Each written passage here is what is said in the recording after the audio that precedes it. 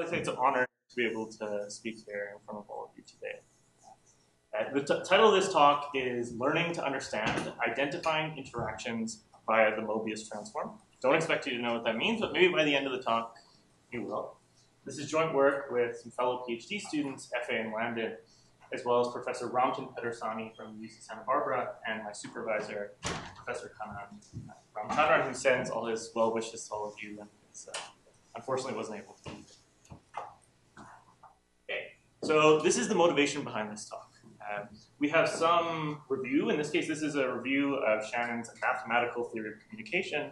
And we pass that through some language model. And this language model is designed to tell us the sentiment of this review, whether it was a good review or, or you know, a negative review. And obviously there's something wrong with this language model because there are no negative reviews of this paper, and so some, something is going on here, right? Uh, and, and the question is, can we understand what parts of this text is triggering this language model to give it this score, or this erroneous score? So this is a typical solution. The idea is basically to just mask off certain parts of the text, right? And see if the sentiment goes up or down. So let's say we mask off some of the text and the sentiment goes up. Clearly that part of the text is probably contributing to the negative sentiment. And depending on how much it goes up, that might tell us something about to what degree that, that part of the text was contributing. And so designing these masks is actually a very interesting problem. Uh, and yeah, this talk is actually also secretly about sparse graphs and group testing, and that's all that's really going on here. So uh, yeah, uh, as you'll see, actually, very interestingly, we will design these masks using group testing matrices, but in very non-obvious ways. Okay, so this is the standard way that people are doing this right now. Uh, they use this package called SHAP. It's from uh, University of Washington. And it's based on this game theoretic notion of importance called the Shapley value. And what the Shapley value does is basically assign a score to each word, or in this case, group of words to save on computational complexity. And it's the score that it gives is related to the average marginal contribution to the overall score that that word or, group of words provides. And so I added this here just to show that this is a very, very popular package. Uh, I mean, I think the paper that this is based on is about six years old and has well over 10,000 citations. So, so yeah, it's very, very well used. And we were looking at this and we were seeing if there's any way we can improve on, on this approach. And two things I think we can do is one is, you know, is it possible to make it faster? Can we use fewer overall masking patterns? And two, can we somehow extract higher order information? Because th this is kind of like building a first order model. I'll explain exactly what that means. So this is an example of a higher order model. And so if we have here, this is a, a new a new review here. Her acting never fails to impress. Clearly, this is a positive review. And, and this model that we've trained gives it a score of point, plus 0.91. I think the score is from minus 1 to 1. And th this comes from a BERT model that's been fine-tuned on the IMDb dataset, so it knows about movie reviews.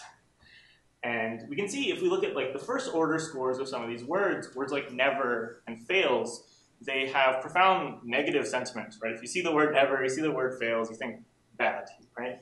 But English is, is complicated, right? And when you add the word, have the word never and fails together, that means something profoundly positive. Right? And so this is a really important second order effect. And I'd also like to point out that you know I, am not making up that, that people care about these types of things because since we started publicizing this a few weeks ago, I've gotten quite a few emails from people who are very interested in up to, they say about third order interactions.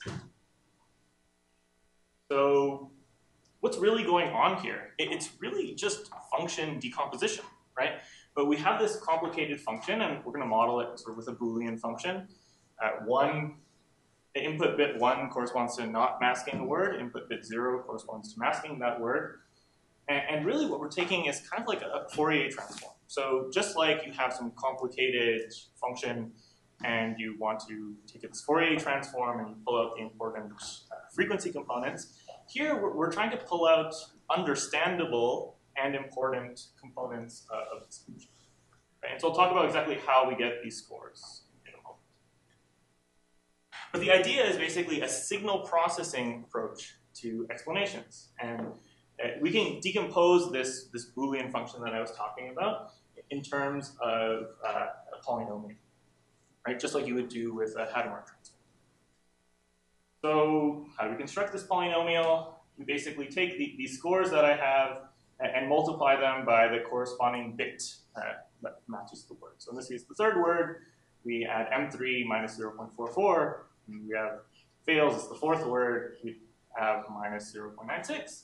And we repeat this process over and over again for all the words.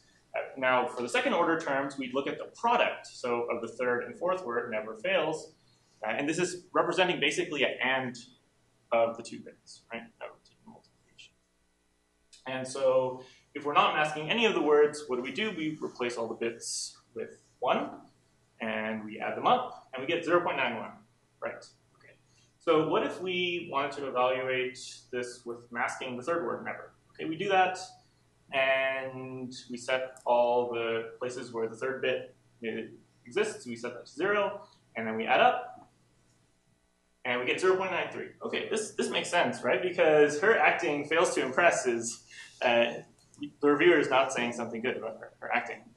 So everything is consistent and so this type of transform that I just took, it, it's called a Mobius transform.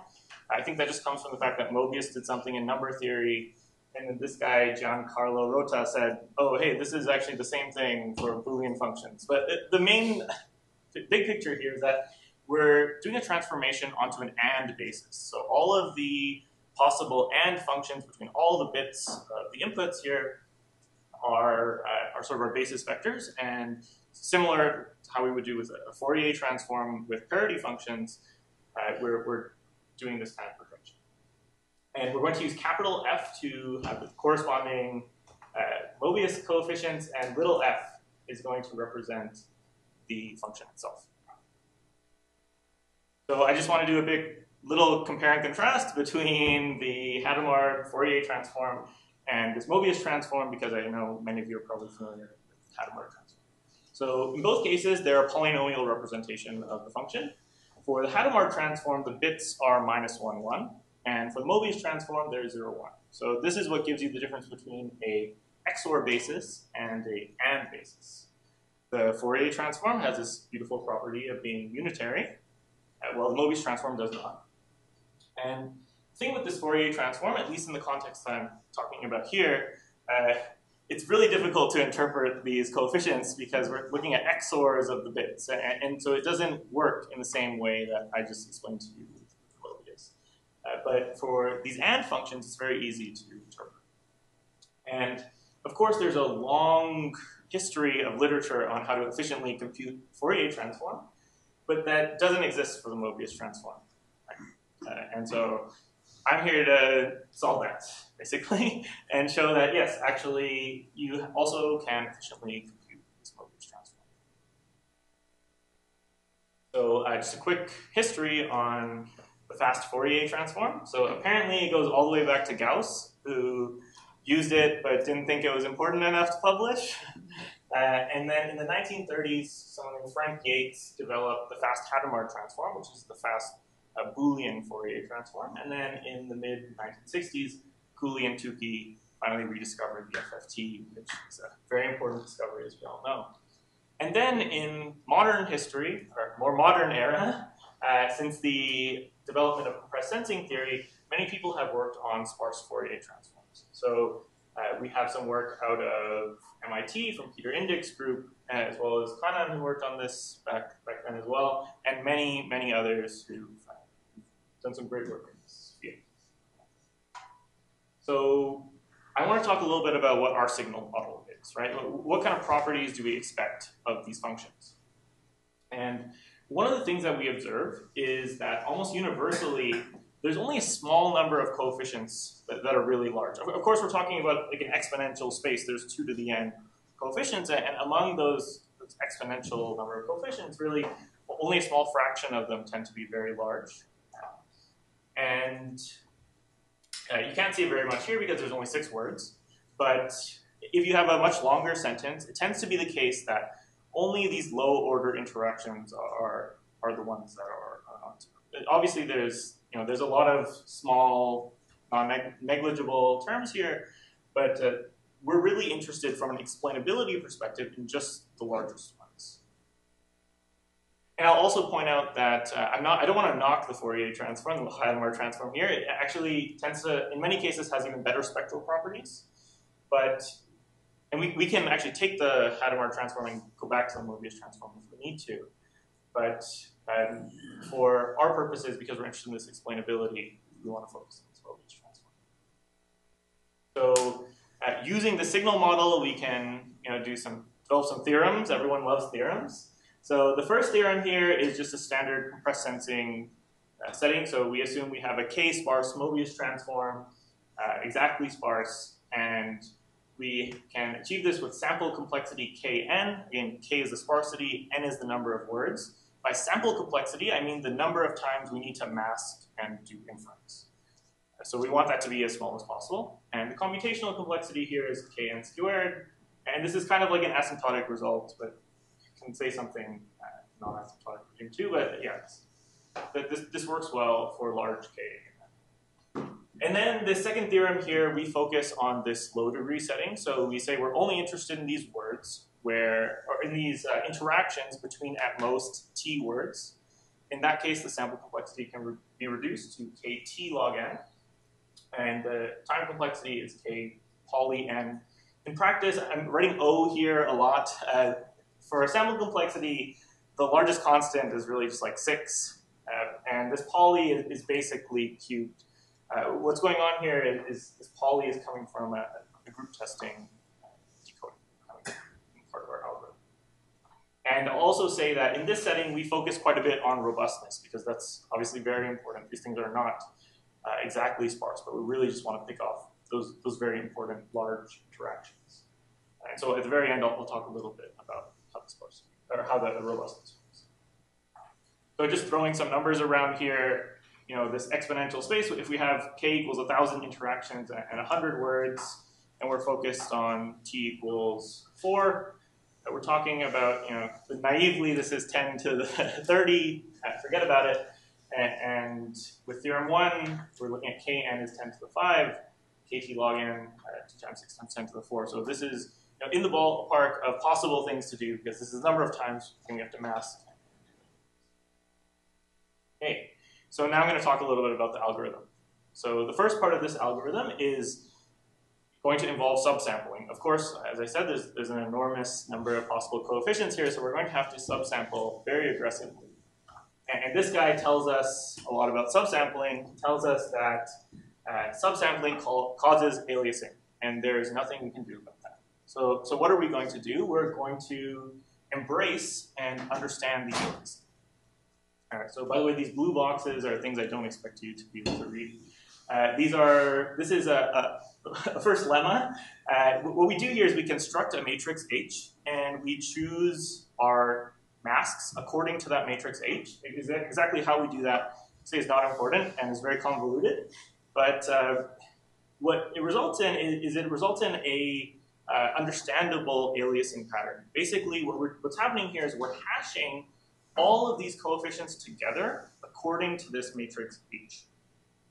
Now, uh, one thing I'd like to point out is that this arithmetic that's happening here is actually like monoid arithmetic. So instead of like F2, where you have XOR addition, this is like OR that's going on here. And so this is exactly what we see with group testing.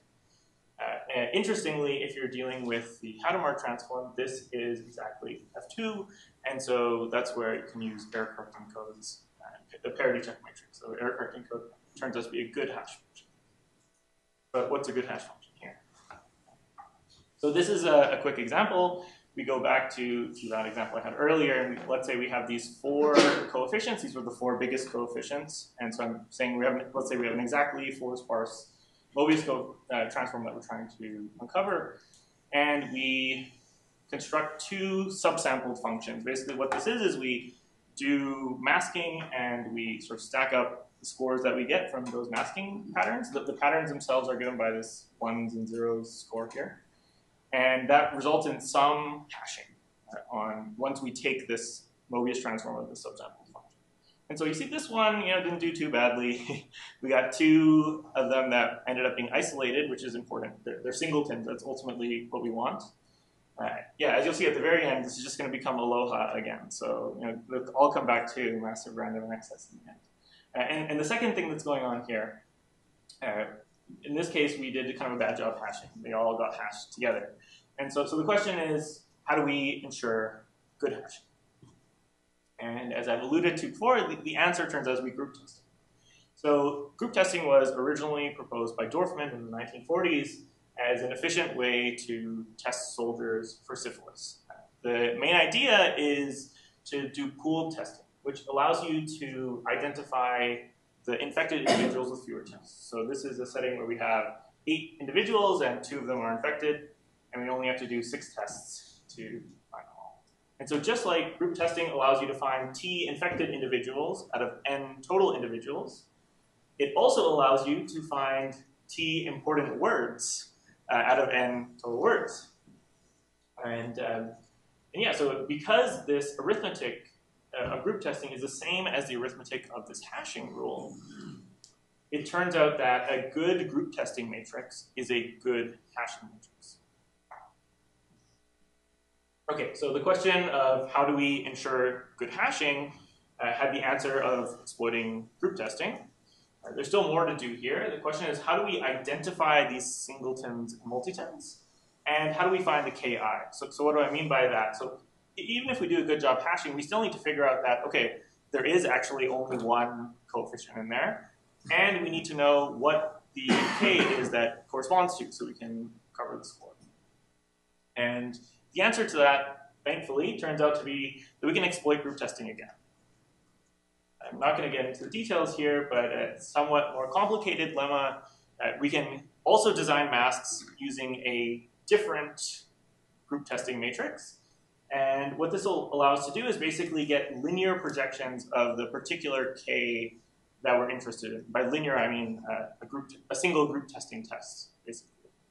Uh, and so if we have a uniform prior, that is, we don't know that uh, these non-zero interactions are all low degree, this takes we basically have to just use a individual testing procedure, and this takes n samples, and this is a multiplicative factor of n, but if we're dealing with this t degree setting, we can do this in order t log n. And the last part is, okay, now we've done hopefully a decent job hashing. We still need to kind of clean this up, right? And so we can do erasure decoding. Okay, so we have you know our, our singletons here, which we're able to recover and then subtract, and then now never, you know, we can also recover and subtract and recover and subtract, and of course we are able to recover all of these coefficients in the end, which was our goal. So just a quick overview of everything that went on here. In the first step, we did hashing. This took, in this case, we took order k samples using a, a sampling pattern according to a group testing matrix. And in the second stage, we did this singleton identification and detection. It took uh, n samples, uh, this is a multiplicative factor of n samples under the uniform prior and t log n under this t degree assumption. And then finally, for the density evolution to work out for the erasure decoding, we have to repeat this process uh, order one times. Under our assumptions, it was three times. And this gives it, this is what gives us our sample complexity of Kn and our and Kt log n respectively.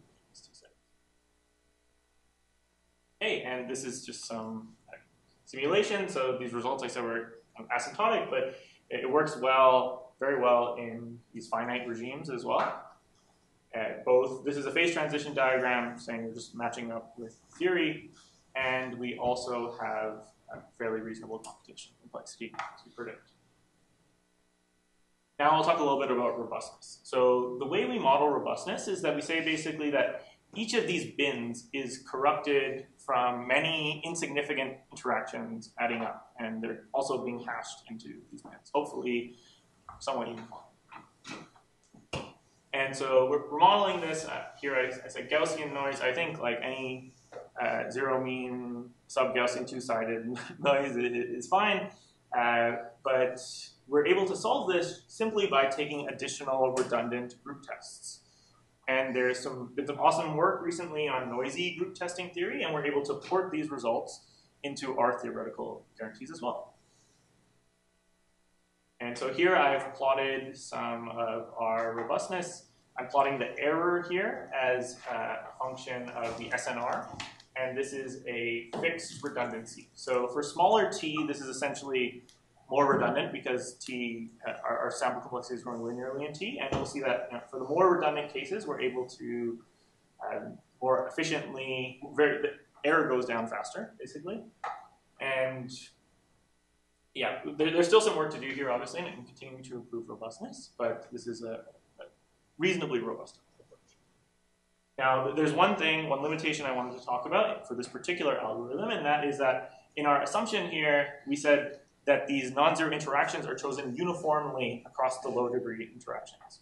But in real, particularly in language, this is not the case. If you have like an important third or fourth order interaction, usually within those four words, there'll be a lot of very important interactions as well. So uh, that's one case where this kind of breaks down in, in the real world. Uh, however, we found that by using adaptive approaches, and you can design adaptive algorithms using non-adaptive group testing uh, matrices or adaptive group testing matrices, um, or, or, adaptive group testing procedures, uh, we can basically eliminate this assumption and, and, it works much better and is much more robust. But there's still this question of can we eliminate these assumptions while remaining non-adaptive? Because we're doing inference here, and, and so what we kind of want to do is batch all this up on, on a GPU. And so, you know, adaptive is fine, but if we can do this in reasonably large batches, that'd be very helpful. So just to wrap up, I wanted to talk quickly about some interesting applications. Uh, so I talked mostly about language here, but there's many other places where we can do this, and one of them is in images. So there's been some awesome work out of Berkeley from Yi Ma's group on creating uh, sparse featurizers using transformers for images. And so I'm really excited on, to try to apply what I've done here on top of what they've done because they've done a great job, basically given us exactly the type of features that we need uh, to get these sort of sparse functions for explainability. And I'll also briefly mention that this approach is yeah, somehow secretly related to hypergraph sketching. Uh, and so just like direct application of an algorithm like this can uh, is state of the art for uh, some types of uh, graph learning problems. And then finally, another area of application that we're very interested in is auction theory. So uh, the Mobius transform in particular is, you know, it's based on these ANDs, right? And when you think of value functions that people are interested in, uh, you know, in particular like spectrum auctions, it might be the case that we need two frequency bands that are very close together. And there's this synergistic AND behavior to that, right? Uh, and, and, you know, so that, that's another thing we're thinking about. You know, can we use signal processing to help scale up uh, auctions and, and to execute them more efficiently?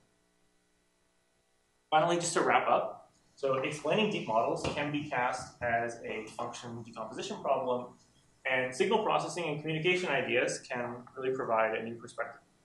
Uh, there's lots of open problems, so we talked mostly about black box methods, but there's also lots of things you can do if you have access to uh, attention matrices or uh, just activations and things like that.